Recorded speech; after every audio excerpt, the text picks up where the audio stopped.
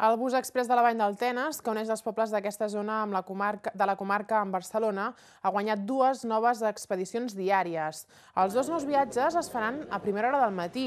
Així s'incorpora un nou autobús a les 7 i 5 del matí en direcció a Barcelona i un altre que sortirà de la ciutat comtal a les 8 en punt del matí cap a la Vall del Congost. L'augment de la freqüència d'autobusos és una conseqüència de l'increment de la demanda. Les noves expedicions començaran a funcionar a partir del proper dilluns 3 de març. La línia d'autobusos E7, que depèn del Departament de Territori i Sostenibilitat de la Generalitat, es va posar en marxa al setembre adaptant l'antiga línia d'autobusos express. Des d'aleshores no ha parat de guanyar usuaris.